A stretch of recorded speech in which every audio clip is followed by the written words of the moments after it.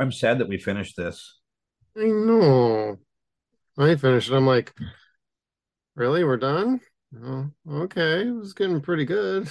Yeah, like it it uh it's got everything that that somebody even with our, our range uh, age range would enjoy because there's like we're familiar with each and every single one of the monsters, Right. even the really silly ones. Oh, like crocodile dude in the last episode. or repti- the monkey reptilicus. Oh, yeah, yeah, yeah. Those the were like- primate from the Antarctic, or no, was it the Arctic? It was like northern Alaska or whatever it was.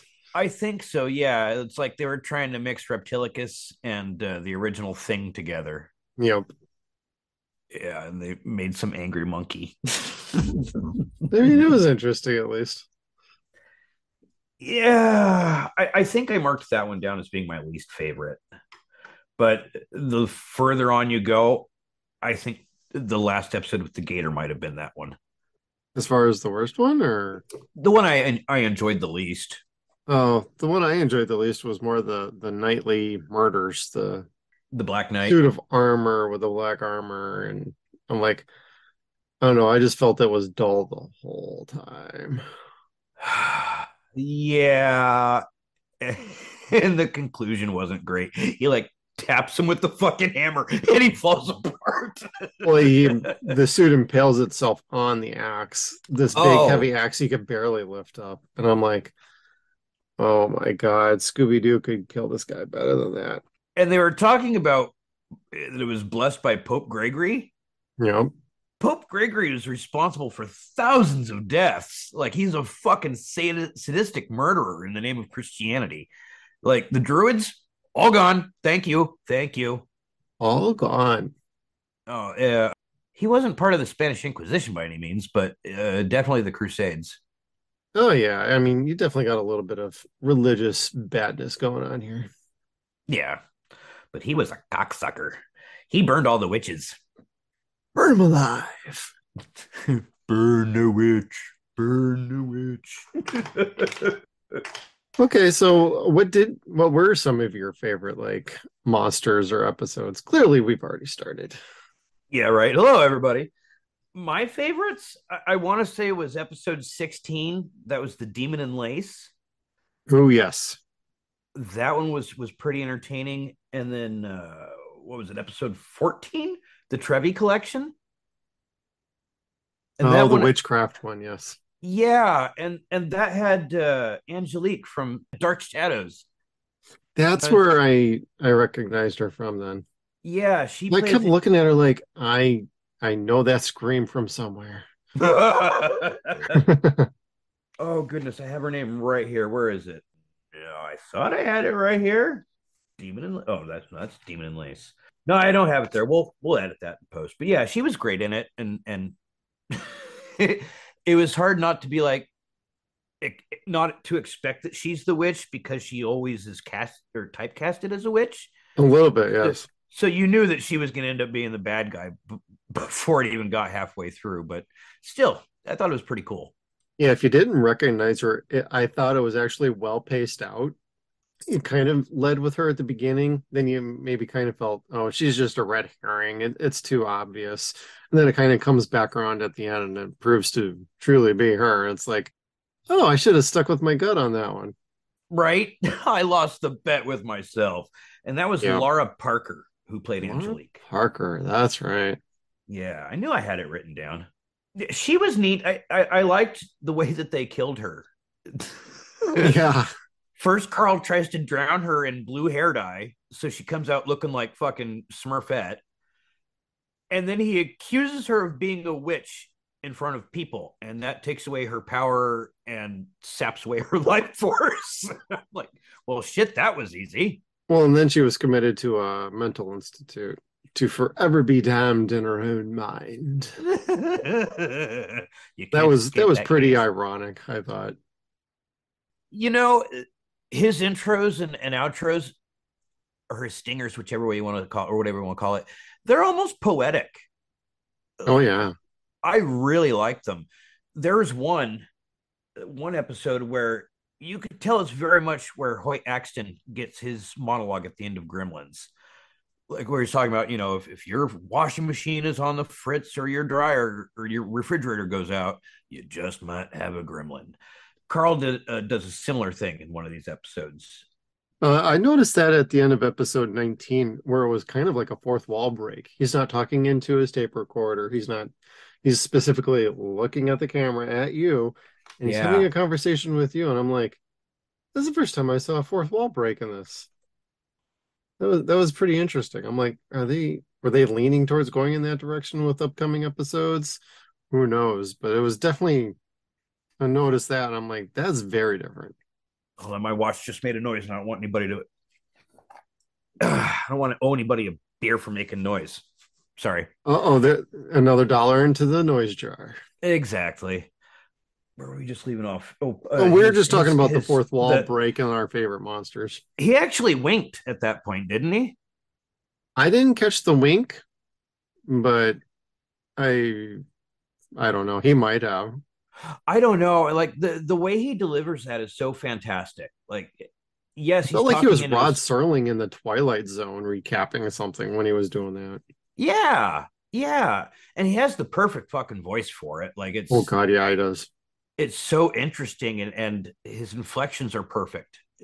all of his lines are basically given perfectly. Yeah, he he had a full grip on his character and the way the character would speak. So you totally bought into him like every single second. Yeah. And I don't know if it helps that they had some shitty actors on there to make him look even better, But well, they had uh, Erik Estrada on. I mean, hey. oh yeah. Got... Whoever they got for Helen of Troy, um, she was gorgeous and she nailed it. I loved her. Of all of the female guest stars in the second half, she was outstanding. She was pretty cool. I, when they said I liked her. Helen of Troy, I was like, oh, that deceitful bitch. What won't she do? well, I re- that's what I really I know we're cycling back to like favorite monsters, but like of all the ones in the second half of this season here, she's the one that I'm like, I'm into that because of how it played out and how they characterized her and how the actress really got into it and she had good chemistry with Kolchak and just how it ended was even better. You have shamed the gods for the last time, woman. You are now turned to stone. And he tosses himself under the bus to do it. Like, I, yeah. I'm not worth giving to the gods. What are you trying to pull? this is not the second time, bitch. You trying to get stoned? Them? Yeah, exactly right. Although that reminds me of a line, I forgot which episode. I think it's the last episode um, oh no, it's the same episode. It's with the taxi cab, and the drunk guy comes up while they're talking about all the Greekness and the Greek gods and how to potentially destroy her and how to get the ring off his hand. And the and they're just going back and forth between, you know, talking and the drunk guy goes, Stoned? Who's getting stoned? and I just died laughing. he just wouldn't go away. Like, I want to be part of this party too. I'm some rich dude. I got drunk. I got a fancy hotel. Yeah, that's not the fanciest hotel. The fanciest hotel is in Russia. oh Jesus. The but speaking of that guy, he was just another part of a great variety of like I don't want to say stereotypes, but almost caricatures. Yeah, there was a lot of caricatures in the show. Yeah, and it's I'm white, so you can't say you can't take it personally.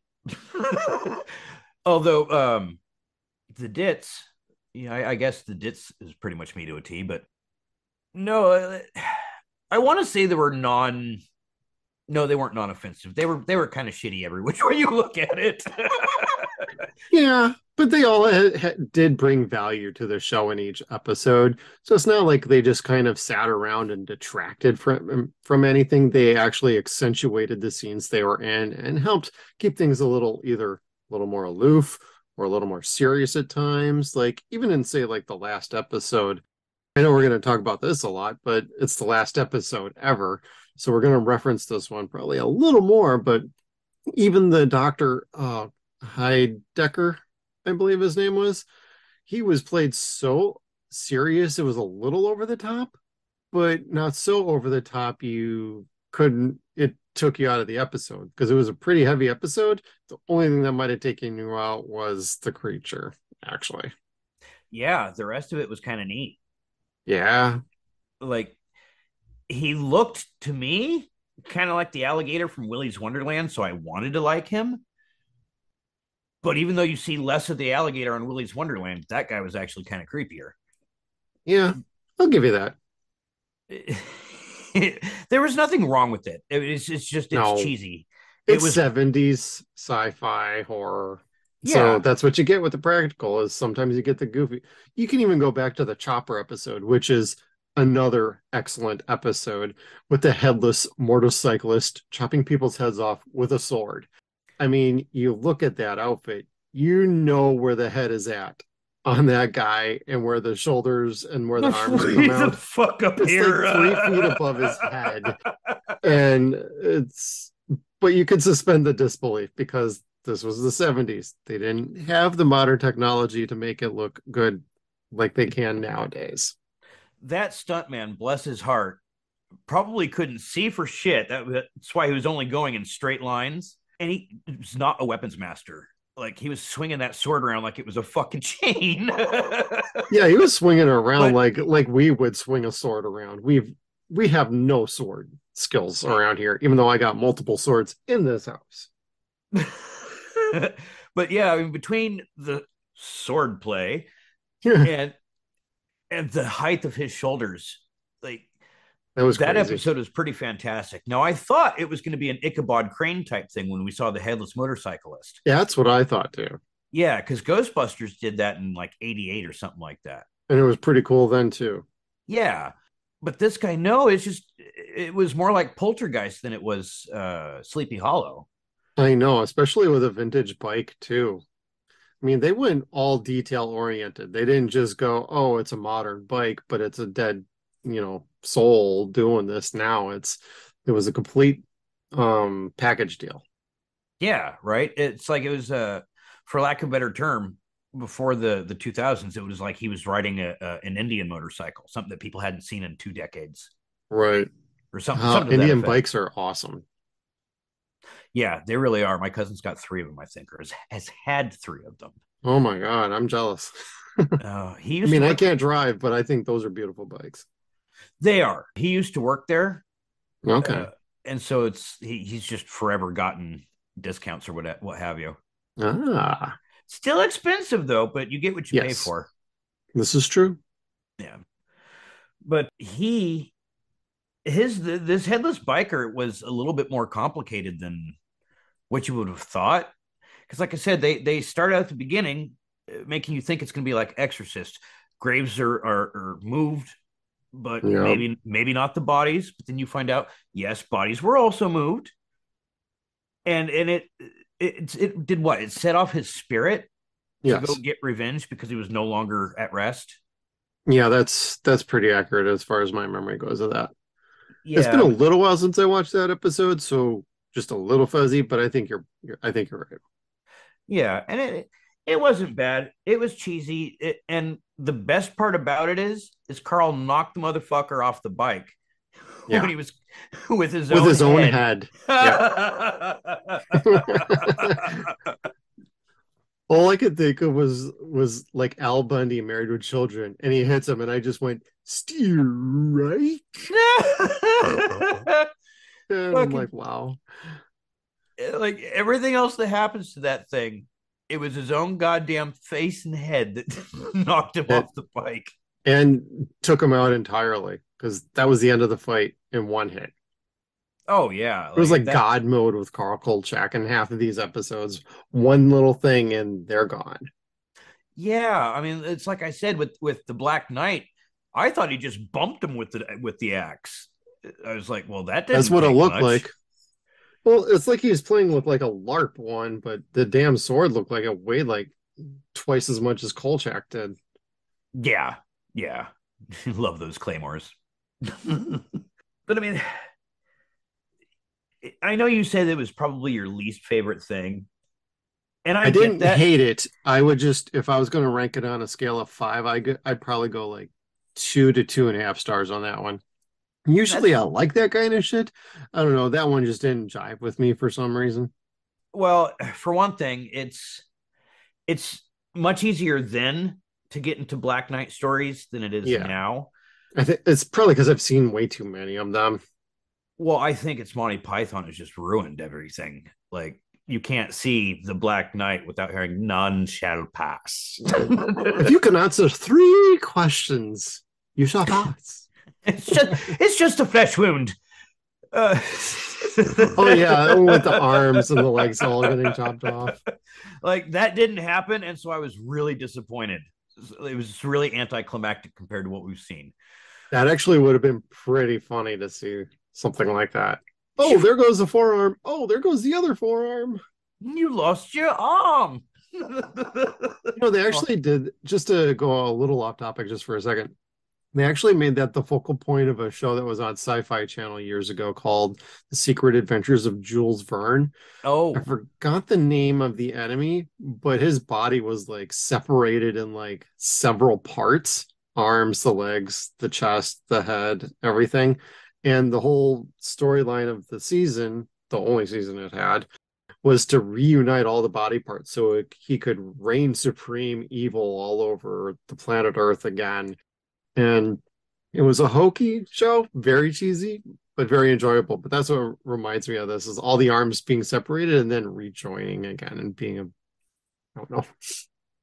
I don't know, but that sounds like it has potential. I do have that somewhere on a hard drive. I could let you check it out. It would take a long.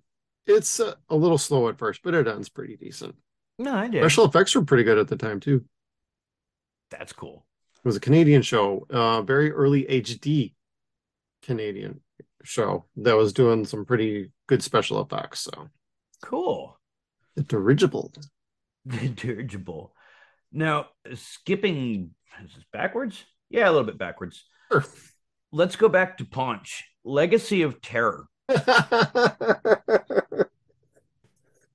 Ponch walked to fucking cross the ice rink, butt naked, like totally butt naked. and up a long flight of stairs. Hey, give the dude credit. He looked like a stud back then. Dude, it is like I said last week. If you're going to pay me $500,000 to walk across a football field, you're going to have to pay me an extra $10,000 to put my clothes back on. So, I mean, I ain't got that cash. no. he he was like a Hispanic Pied Piper with three blonde chicks that were all monsters. Playing the flute. Yeah. also, he could be a sacrifice. Like he gave up his entire life just to have one great year of being somebody. And it, well, and to make sure his mother was taken care of. Oh, yeah, his mom. They didn't even show her, did they? No, that was just mentioned at the very end, probably because they felt, you know, that's not really much to be able to relate to with him. the scoring with three chicks and and just living the life for for that long. Well, it was it was kind of hard to watch. Or- I don't know so for much- us guys, you know, scoring with three chicks if you're into chicks. Don't know. That's okay. That's Just okay. saying. But most most dudes I know don't know what to do with one chick, let alone two, especially not three. yeah, they see three, they go running the other way. I, I need Gatorade. but no, that that was kind of neat. Now I I thought those three ladies were also the three big like chicken dudes. Like Really? yeah, because there was three chicken dudes and there was three ladies. So I'm like, oh, okay, well they they must just transform into the gobbledygooker here.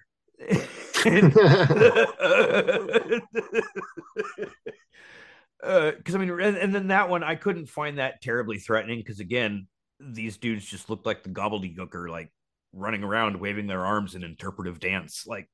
just Well, I was away. thinking- Yeah, I was thinking like Puma Man, you know, with uh with half of this. But you know, the the design on the main um eagle headdress. Uh, the main guy, I forgot what his name was, but that was a pretty cool look. As goofy as it was, but it was a cool look. Yeah, yeah. And then they brought in a mummy at the very end. Uh, uh, kind of partway through the episode, they you saw it in the storage room, but then you didn't see it again till the end.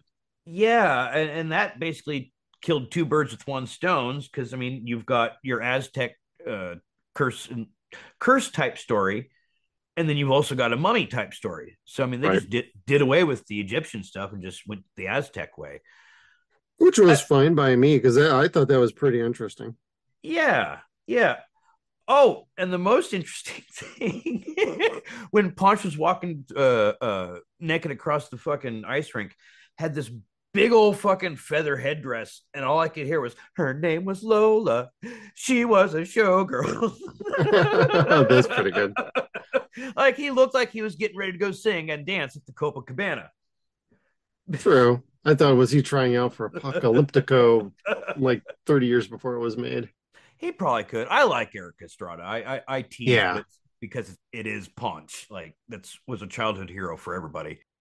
Yeah, and he's done some odd and somewhat fun movies here and there through the years. Yeah, yeah. No, I I think he's a pretty super person from what I know of him. Yeah, but I I'm not going to shy away from a butt naked joke neither. Hell no. Especially when it comes to three dudes dressed as the gobbledygooker that turn into hot blonde chicks. Yep, uh, and that's how he gets to run naked. Yeah, for free.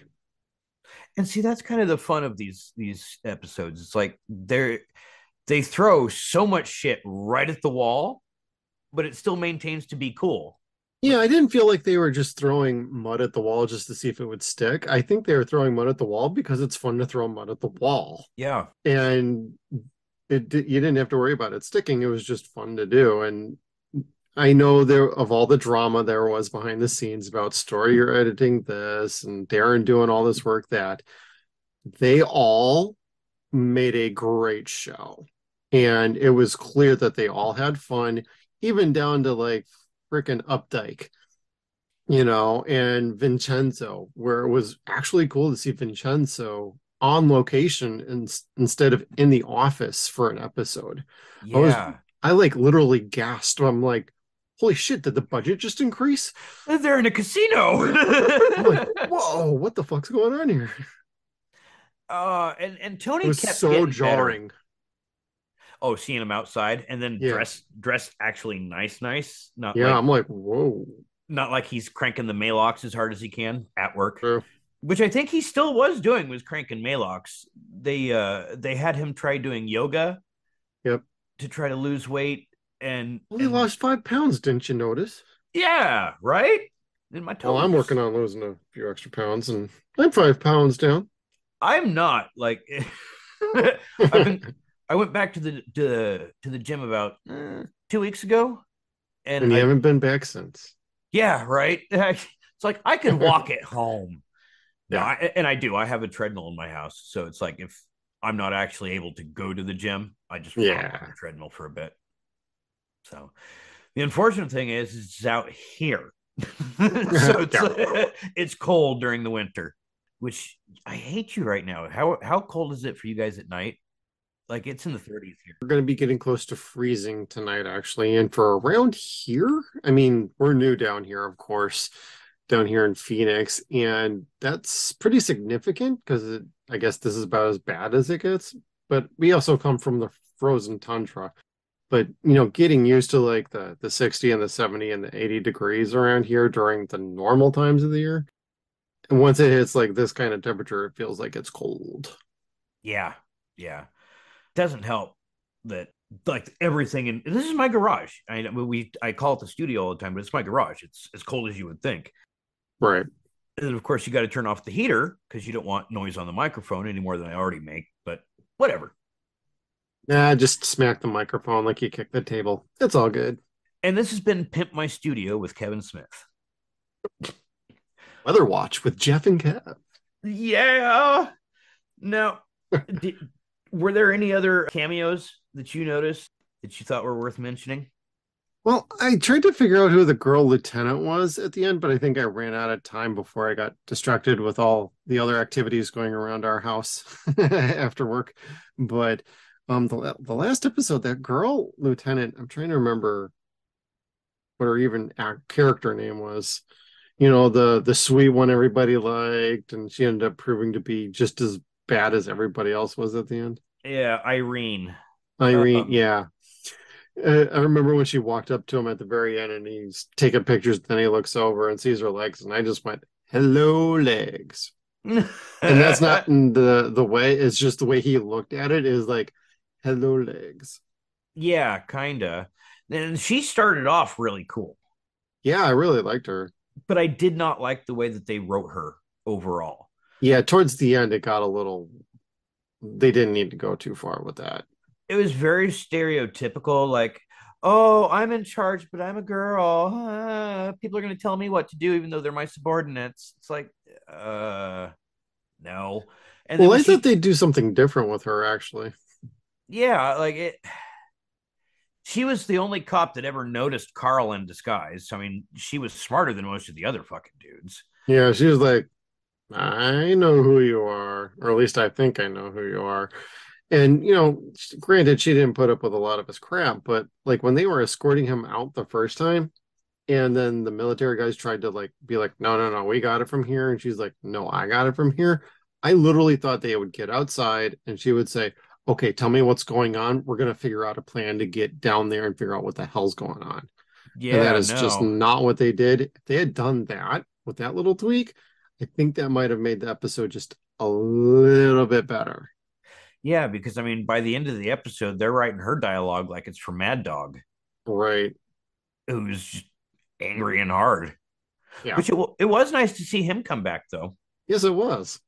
I was like, I know that voice, and then I looked, then I looked up, and I'm like, oh yeah, that is him. No, where was it? Was it in the witchcraft episode, Legacy of Terror?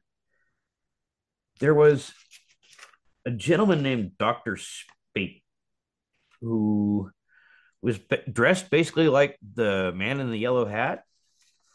What episode was that here? Is that yeah, 116. So this was uh oh serious, I didn't even write the damn episode number down or the episode title down. Oh, oh it is it is Demon in Lace. Yeah. He looked like the man in the yellow hat. And it was really funny to watch Carl punch him. oh yeah because all I could think of is that's what Curious George would do. He just fucking punch the motherfucker. Yeah. But did uh did you did you recognize that guy? I did not actually. That is the guy that played Psycho Dad on Married with Children. Oh no shit. Yeah, that's why I said you gotta watch this. You know, now that I think about it, maybe I do recognize him now, but when I was watching it, I did not recognize. Yeah. I was that I... man riding off into the sun who loved his wife but who killed his wife but loved his son. Psycho dad. Psycho dad. Daddy, do I have to watch this? Yes, you do. As your father, when I find something of quality, I feel it's my responsibility that my child reap the benefits. TV is not all trash. And now, back to Psycho Dad. A little touched or so we're told. Killed his wife cause she had a cold. Might as well, she was getting old. Psycho dad, psycho dad,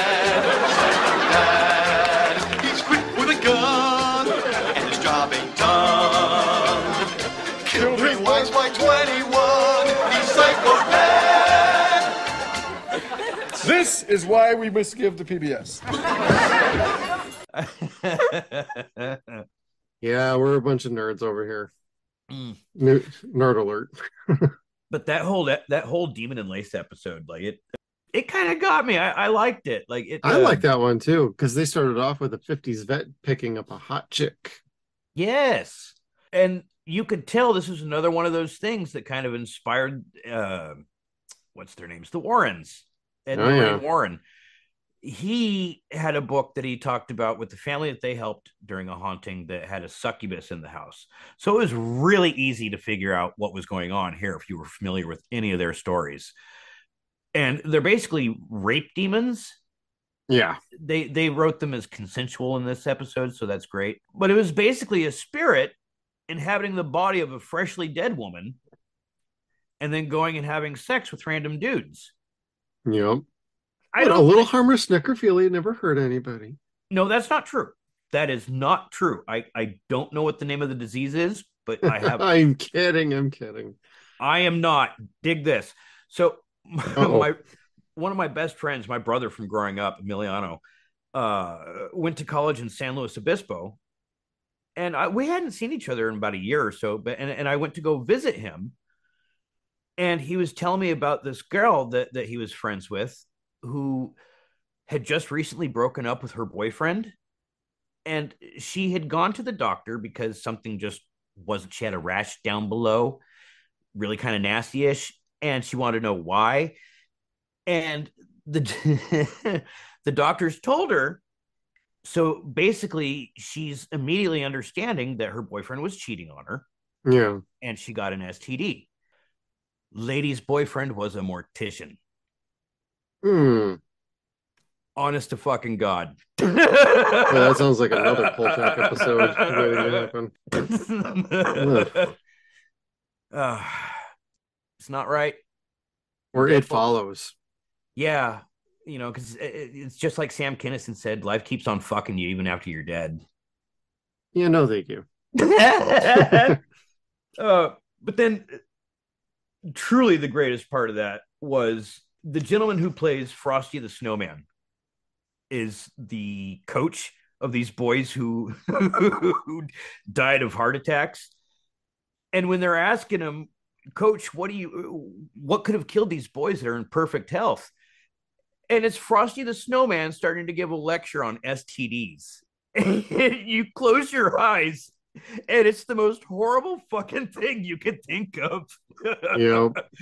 and because my daughter, she watches Frosty all the fucking time. That's just her jam. So it's like he's not altering his voice. That is just the way he sounds. And if you're old like we are, you're getting a, a Christmas lecture about STIs. Yeah. so that that kind of won the show for me. That was my shining moment. There was Frosty's STDs. I don't know. I think one of the episodes that really like won me over was when we got came back after our little break, watching episode eleven, seeing hmm. Carl Kolchak calm, cool, and collected for like 35 minutes of the episode. In the last 15 minutes, he just goes crazy like normal Carl Kolchak. It was just weird.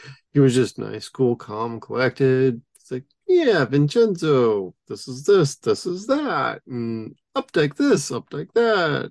I'm like, what's wrong with him? Nothing's wrong. It's just he finally he geared it up towards the very end of the episode. That uh that episode was a little harsh at first. Like it it took me a while to realize, oh hey, this is not what I think is going on. What the I Hindu or the what was it called? The the Hindu- Rakshasa. Rakshasa? Rakasha? Rakasha? Uh, is basically a, yeah, it's basically a hobgoblin Yeah. that appears uh, as someone you trust. And that was a good episode because you found out, despite the fact that Carl's always said he doesn't trust anybody, he does. He trusts Miss Emily. And it was fantastic as as this thing's creeping towards him as Miss Emily and talking with her voice. He shoots her right in the fucking stomach. like Yep. no, maybe it's not her, maybe it is. I don't know. Just fucking shoots her right in the stomach. And the poor lady playing Miss Emily has this pillow that makes her look like she's pregnant. And Yep. they've got and they've got a squib in there and it blows out and you see fluff blowing out the front. Yeah, that was pretty funny. and then it cuts away like they they meant to edit that fluff out but they needed to get the bullet shot in. Yeah, they needed to get just enough in and they yeah. Yeah, I mean that that was neat. It was it was a little uncomfortable at first because uh, I wasn't paying attention to the swastikas. I'm just kind of like, ooh, fuck, you could put those on TV back then. But again, those Yeah, were the. Tibetan. Yes, that's true. But these were again Tibetan swastikas, which are which were Polar opposite. anyway. Yeah, yeah polar opposite of what those were uh, made out to be later. right. Yeah, so I mean, it's when they said a Hindu Nazi, I'm like military intelligence. What? Second, I started watching the episode, I'm like, oh, you can't do that these days. Yeah, no. And then I felt super bad for the couple walking down the fucking alleyway, all afraid and shit, because there's all these all these swastikas everywhere. It's like it's fucking horrible. Do we not? Can we not show that? Well, they also made it a point like several times through the episode too. So if you tuned in at different points, somebody was constantly explaining it about every 10 to 12 minutes. Yeah, which again is good, but um, Yeah. it was a little at first, but Their once show they, was wild. yeah, like they got away with just about everything. Yeah. Uh, again, again, Hindu Nazi is probably the greatest fucking oxymoron uh, that I've ever heard. Like those just two things don't happen together. Like, Oh, I know, right? but um, no, I mean it was it, it was a neat episode. It had Sergeant Bilko with a cameo, so I mean That's that was kind of cool. And and it does it it does kind of open your eyes to see another culture's issues and fears Yeah. that they have to go through. It's it's a little humbling. It, it just makes me hate people for treating other people like that. Yeah, I agree. But then you got a monster eating everybody, and it means we're all the same. Yeah, we everybody got to eat. We're all food. And buffet is open 24 7. Kinda. There was a few episodes like this where the people were buffets. Yeah, the the werewolf in the last episode or the last our last episode, he was just munching on everybody on that boat. Geez, we talk about all this, and like one of our upcoming episodes in the near future is going to be covering Hannibal, the TV Ah! show. You know, I I want to say I'm as excited for that as I was for this, but I am truly more excited to talk about Hannibal or watch Hannibal than I was Night Stalker. And that's nothing against Night Stalker. We all know I've said nothing but great things about it, but No, this is good fun right here. I got to see like the first two or three episodes of Hannibal, automatically fell in love with it, didn't get to finish watching any of the rest of it. So it's like I am so pumped to finally see this. Yeah, I, I've seen it all the way through, except for the one episode that they took off air before it aired uh, in the middle of the first season, which uh, was due to like some school shooting. So obviously, due to sensibilities, they yanked it off TV and didn't air it. But I have the set, and I can't wait to watch that. Yeah, that was was it Anna Gasteyer or Molly Shannon? It was someone Hmm. from from SNL. I think so. Played Hannibal's psychiatrist, but she was also a child psychiatrist, and she was convincing kids to become serial killers. So yeah, I think that's correct. Yeah, and this happened. It it was going to air just after Sandy Hook happened, Right. so they're like, yeah, no, Yeah, not so much. In the grand scheme, you don't feel like you missed too much from the story, but I can't wait to see it in context. So yeah. I think it'll be interesting. It'll be a little hard again because Sandy Hook has happened more than once. yeah, They just called it Uvalde the next time. But again, I I love that universe. I've read all three of Thomas Harris's books. Four, four. And I just I I can't wait to talk about that one. yeah, that's gonna be a fun one. Yeah. This one though, God, this is such a time warp for this show. It uh, it is because we All talk about, about, the seventies, man. Well, we talk about this and then we jump forward because it reminds us of other things. And well, and and, things are much inspired by Kolchak. yes, and having watched this whole thing now, and I'm able to look back on it. This is Kolchak is part of a TV sh- or, uh, TV trilogy that's like the Divine Comedy. In, Right. in in literature, everything after the Divine Comedy was based on something that that Dante had written. Everything from horror all came out from that. Television horror, I think this is probably probably sitting on the right hand side of Rod Serling, and on the other side of Rod Serling would be Barnabas Collins. So we've got Right. Dark Shadows, Kolchak, and and Twilight Zone. Everything that came after those shows was just mimicking or inspired by. Like they they perfected what TV horror should be. right and they totally delivered and you know unfortunately it, it wasn't meant to last and you know all the factors that happened and it, and it ended there is nothing to be ashamed of with this show it succeeded on multiple levels and inspired genre for years it's Yeah. still to this day it's felt everywhere. Like the most recent is clearly like supernatural. But like there was a show a few years ago you know sci-fi channel fans will recognize when i say the chronicle which was a newspaper organization that covered sci-fi alien and horror events to varying degrees of success and failure. It wasn't that great of a show. But then you go back to like x-files where you can even go look at the episode mr ring for a government Yes. conspiracy going on that was perfect. It felt like a complete setup for an X Files uh, season, let alone you know the whole concept of the show. And you know, just so many influences. It's it's such a great show. It was such fun to watch this for the first time in forever.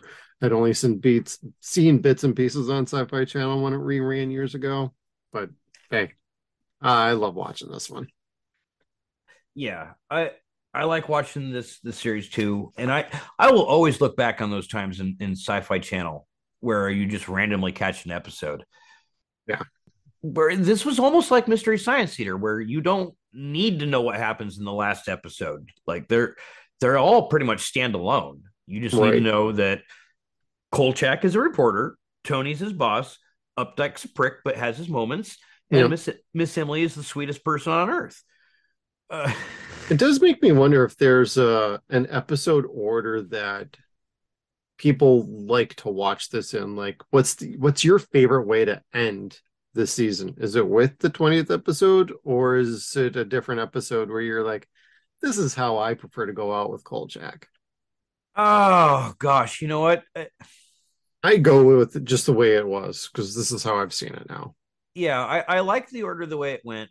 I would have liked to have seen the the other what was it three episodes you said that they had written. Yeah, I would have loved to have seen that uh, come to fruition, just because it, the the last episode wasn't bad by any means. Uh, It, No. was all it was all inspired by like James Bond type stuff and, and even the thing. But and Kolchak was driving an enforcer from Space Mutiny throughout the entire show. Oh my god, that was so funny. And boy, he couldn't drive that thing straight if his life depended on it. No, he was like a drunk guy, but he was sitting so casually, like he had one hand on the fucking steering wheel and the other hand like on his uh, uh, across the arm. Or the All he was missing seat. was like a beer in his hand, being like, "Yeah, a beer in his hand and a woman. Like that's all he needed. It was cruising. see him rolling." but like he was like almost bebopping off the fucking tunnel walls, like boop boop boop boop. pan- You know, it makes me Pong. think like Austin Powers stole the idea from him on that.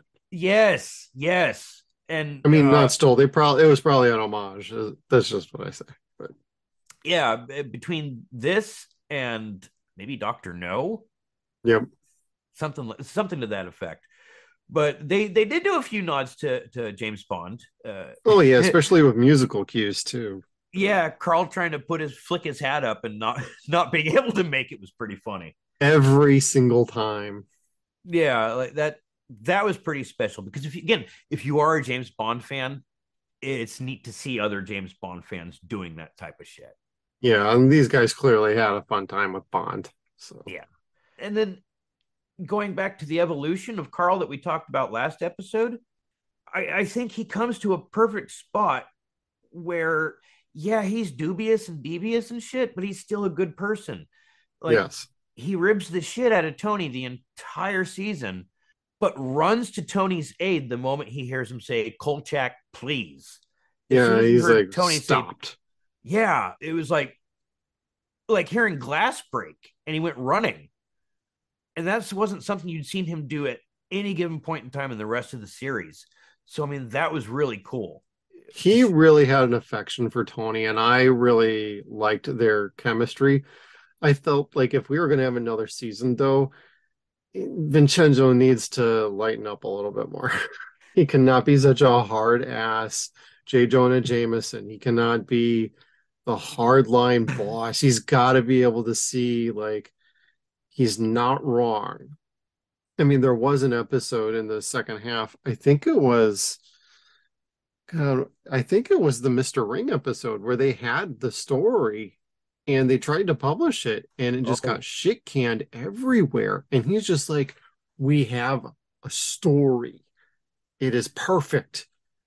And they all got shot down. And it's like, maybe after that you evolve a little and you're like, I know you're onto something. It's a little weird. Let's just try and tackle this as realistically as possible. We don't always have to put the supernatural spin on it. If it's way too goofy, we can just put out, you know, we can frame it a different way and still get the same story out. Yeah. But you know, hope if they we had had another season, that's what I would have liked to have seen a little growth in that regard. Of now, I know, I know your ideas are crazy, but I gotcha. Let's just try and figure this out together, though. Stop doing stuff on your own. Uh, yeah, it would have been really neat to As far as the articles, anyway. yeah it, it would have been neat to see it just even just one episode of tony actually being the one to see the supernatural shit Yeah, that that i would i think it would have been funny just just one time and it would have worked great Oh yeah, I'm that might have been something that could have been cluing in for on a season two as well. Yeah. I mean it's not something that you'd want to see happen all the time because that would take away the specialness of that one time. Right.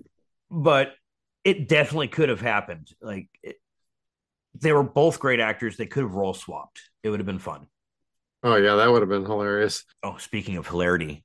Uh oh. the scene where uh what was it? Updike kept telling him to stop parking in his in his parking spot. Oh my god, yes. and the next time he parks in my spot I'm gonna have your car towed And whose car really got towed? yeah Updike. Carl parks in the dude's or parks in Updike's parking spot moves his car when he's done and then has somebody else take Updike's keys and move the car back into his parking spot. Yep. So when the tow trucks got there, they ended up towing Updike's car. I know Updike was like the complete punching bag of this season, but I don't know. That seemed to it seemed like a good friendly pranking sort of banter that was going on. It's I don't think Kolchak like hated him, but I think between him and Vincenzo, they definitely felt like he's not the kind of reporter for the hard hitting stories. So shut up. yeah, like Tony wanted to send him on on the things that he didn't want Carl to do, but he was too squeamish to deal with bodies, like the sight, the sound, the smell. Like he didn't. You would do it as a punishment to Kolchak. You know, I didn't send you to San Francisco. I sent him to San Francisco. That's right. That was my San Francisco trip. Well, sometimes you got to show up for work. Imagine that. But yeah, I mean that that would have been fun to see too. Again, getting them out of the out of the office, yeah. uh, like in the the episode with Estrada. That that was fun. It would have been fun to see a little bit of that in the next series, next season, not series. Yeah, and they sectioned off a whole arena for that too. So that was pretty cool. Yeah, right. It, like even back then, that was that was pretty impressive because that's still expensive. Well, yeah, I mean, I mean, I that's know about it's the time they're like, hey, you can pay us to be in our to do stuff here. then again. On the other hand, was hockey truly that big in '74? yes. Was it okay? Well, I I mean- mean, they're in. If did they shoot in Chicago? I don't. God damn, I didn't even think to look that up. But if they shot in Chicago, definitely because that's Blackhawks territory.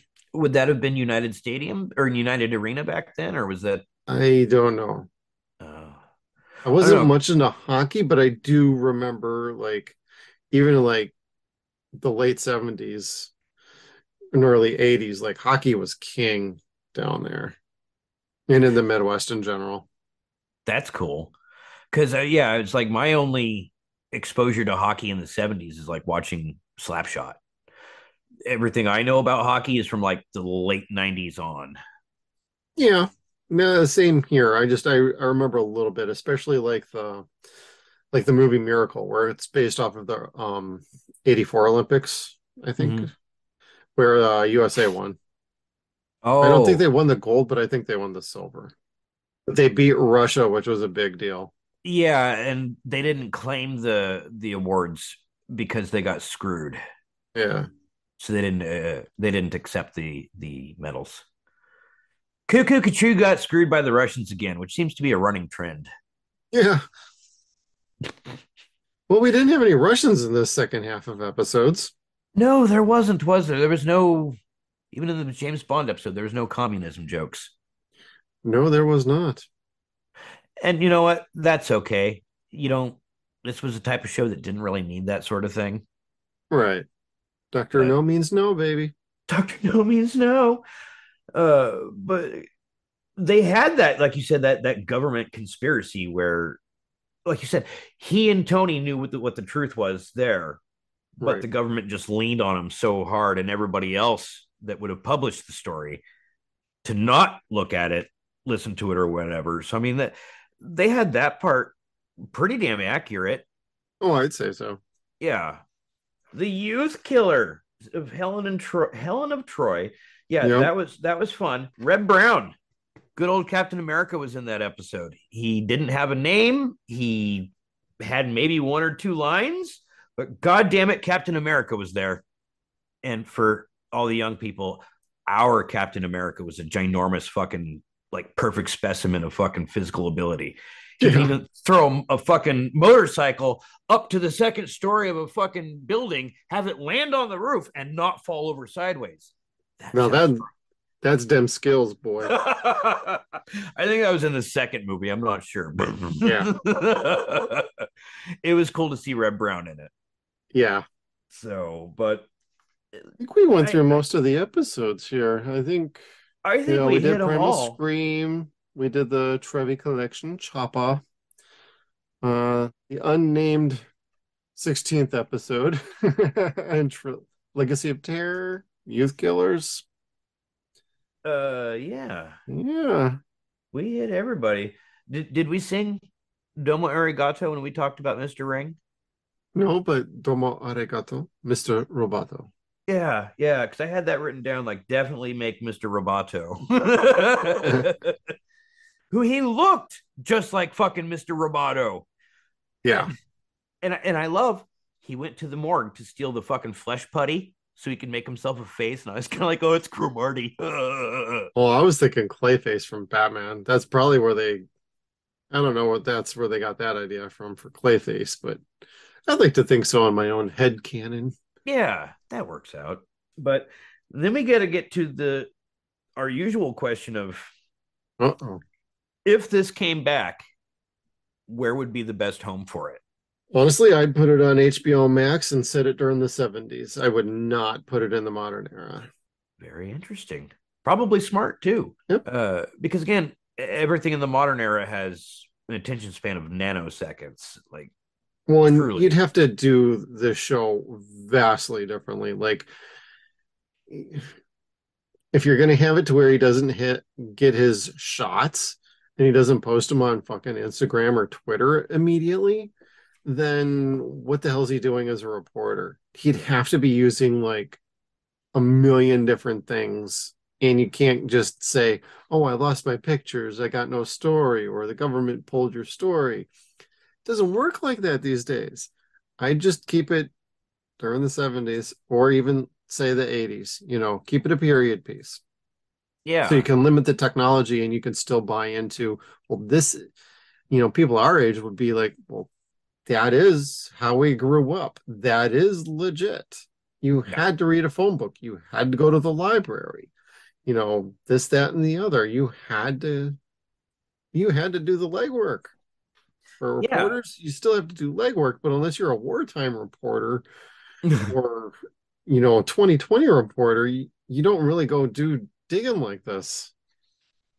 No, and he did a lot of research on pretty much every episode. And he had Like- contacts, he had good contacts, he had bad contacts, you know. skeezy go betweens. Yeah, and bribing them all the time with like no money. Oh yeah, then you'd have to write it off for a. Please, it was $25. Please just finish signing this. Just Yeah. just sign. What did you have to give him? A used black and white TV. For $25? Yep. it was good to see Piglet come back too. That was pretty good that he that he swindled uh swindled Carl out of seeing the body. Or no, he was gonna.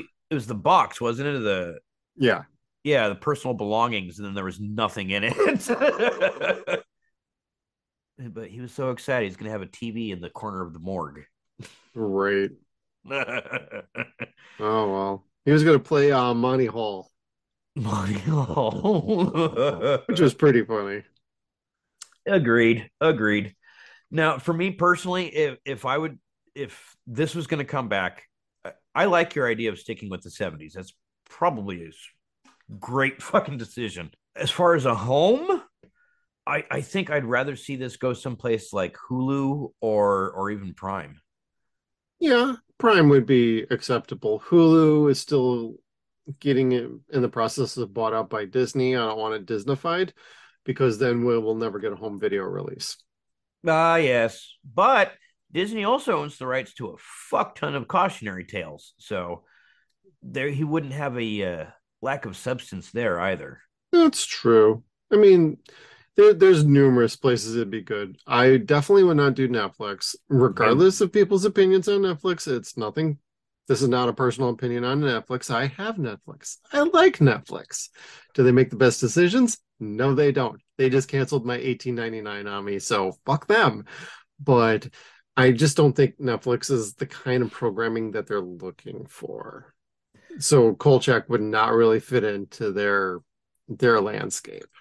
Yeah, uh, people like big, flashy, noisy, actiony, exciting bubblegum. Uh, This this was fun. It was a little bubblegum. It had a little bit of flavor to it, but it was it had substance. There was more meat Yeah. and potatoes to it. For as silly as it was, it, it was a smart show. and a fun show. I never felt like I was bored, constant entertaining. Whether some episodes were a miss, some were a hit, I had nothing but enjoyment the entire time. So I'm super pleased with this show. Yeah, I'm really glad we we did this one. It's uh it's been on the to-do list for a long time. For I mean, for on the show, we've been talking about it since last Christmas with Steve. Yeah, yeah. no i just this is just something like i said i've i've always liked it when i was growing up as a kid and as a teenager and so i just it's i something i always wanted to do was to watch the whole thing. Never got around to it. And now that i'm middle-aged i'm totally happy that i got to it finally.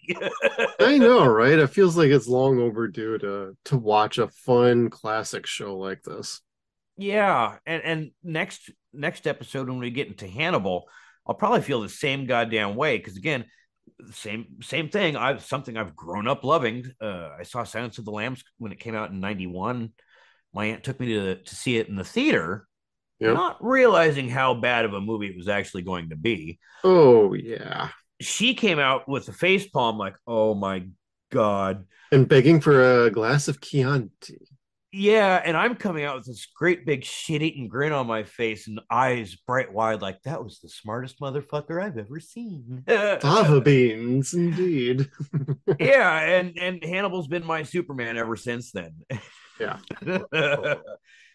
I, I'm excited for that. So again, I haven't seen the TV series, so it's something I'm really looking forward to finally getting around to doing. Couldn't agree more. And I don't know. Any other thoughts before I wrap this up for us? I think that's it. That is it. Like just go watch this, read monster tales, have fun. Like th- this is good old fashioned monster fun. Yeah, and if hey, if you're physical media, you know, minds like we are, you can go ahead and go find those movies. Um, th- go to kinolorber.com though for those. They are having a while supplies last section. So quantities are running low, but they're $10 a piece. The show is $59.99, also at kinolorber.com. So for, I know it's a little pricey, but the quality and the set of the show is outstanding. They got commentaries on episodes. The picture quality looks outstanding. It's just Blu-ray, but it's beautiful. Probably the best copy the show is ever going to have. Don't waste time to get it. However, if you have lasted through both of our episodes and our Kolchak bonus movie breakdowns, we got a fun little giveaway I'm going to announce right now. That's right. We are going to be giving out a copy of the show and each of the movies. Although you got to go back to our first episode and listen in for a special keyword at the very end vituperints, if you remember that very well. And we got a keyword right now. And that keyword is going to be Sexbot? no. Oh, sex ah, God damn it. That was for Terminator. We are actually going to use the key term Helen of Troy. So make sure you write these down. You do have to send that to us either by Facebook through direct message or through Twitter through private message or Instagram. Those are the only three ways we're going to accept an entry. So send those keywords in to us and you will enter and we will announce the winner very shortly. We will announce those details coming up shortly if they haven't been announced already. So thank you for tuning in, everybody. This is Suns and Shadows cast. I am Jeff. I am Kev. Thank you for tuning in. We're going to see your asses next time. All right.